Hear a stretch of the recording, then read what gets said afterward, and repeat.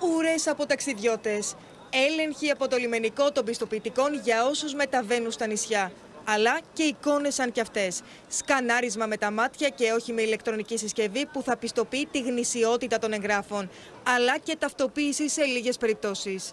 Το πλοίο για Σύφνο φεύγει σε λιγότερο από 45 λεπτά. Η ώρα είναι 2 και 20. Οι επιβάτες περιμένουν ο ένας πάνω στον άλλον έτσι ώστε τα στελέχη του λιμενικού να ελέγξουν τα έγγραφά τους. Η εφαρμογή του μέτρου των αυστηρότερων ελέγχων γίνεται με παραφωνίες, με τον προβληματισμό να εντείνεται από το γεγονός πως το 40% των λιμενικών είναι ανεμβολίαστο. Αλλά δεν είναι η μοναδική. Σε ό,τι αφορά τον εμβολιασμό των πληρωμάτων ε, στα πλοία, έχουμε εικόνα μέχρι στιγμής πώς είναι εμβολιασμένοι. Ο εμβολιασμός των πληρωμάτων είναι περίπου στο 50%.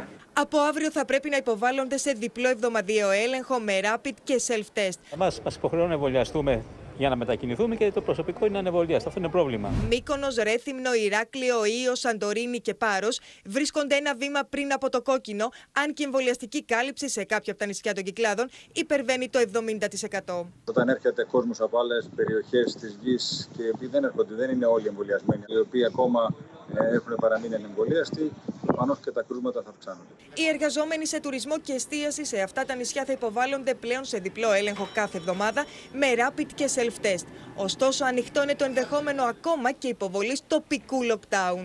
Προφανώς, όταν μια κατάσταση ξεφεύγει, πρέπει να ξαναλεχθεί. Άρα, δεν θα ήθελα να, να έχω πουθενά τοπικά lockdown. Δεν μπορώ όμως και να τα αποφύγω όταν η κατάσταση τα επιβάλλει.